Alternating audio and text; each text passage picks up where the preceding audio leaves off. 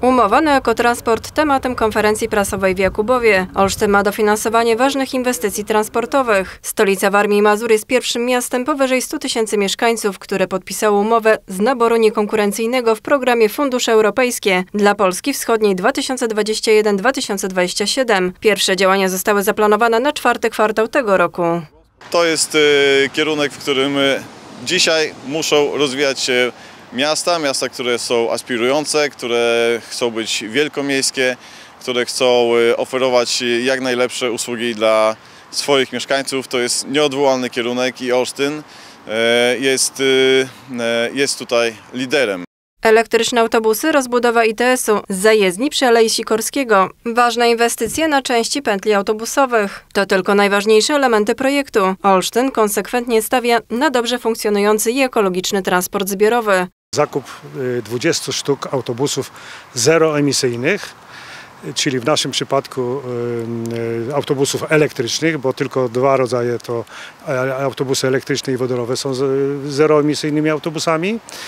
Dwa, y, wy- y, wybudowa, rozbudowa zajezdni przy ulicy Sikorskiego Niezbędna będzie także przebudowa sześciu pętli, między którymi będą kursować elektryczne autobusy. To będą pętle autobusowe, do których będą skierowane te autobusy elektryczne, między innymi tutaj w Jakubowie, e, między innymi na pętli e, na osiedlu Dajtki, na osiedlu Redekajny, e, przy ulicy Janowicza, przy skrzyżowaniu z ulicą Witosa. E, Także to jest ta część, która pozwoli tym autobusom elektrycznym przemieszczać się po terenie miasta. Dodatkowo powstanie kilka nowych przystanków na trasach autobusów. Wybudowane będą też dwie nowe pętle autobusowe.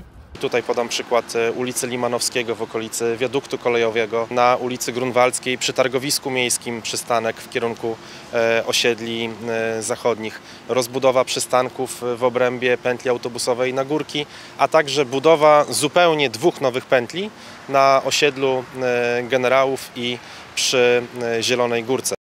W projekcie jest też kupno nowych składów tramwajowych. Najpóźniej na początku lipca zostanie złożony wniosek o ich dofinansowanie z Krajowego Planu Odbudowy. Chcemy wykorzystać e, moment, gdzie tak szeroko mówi się o KPO, gdzie mm, zmienione zostało dofinansowanie na zakup e, taboru tramwajowego z pożyczki na dotacje i chcieliśmy spróbować e, wystartować w konkursie, który właśnie teraz niedługo będzie się zamykał i składamy wniosek o dofinansowanie na zakup właśnie sześciu tych sztuk m, taboru tramwajowego. Wartość projektu to prawie 297,5 miliona złotych. Dofinansowanie wydatków kwalifikowanych jest na poziomie 85%, prawie 129 milionów złotych. Zakończenie realizacji zadania jest zaplanowane na maj 2027 roku.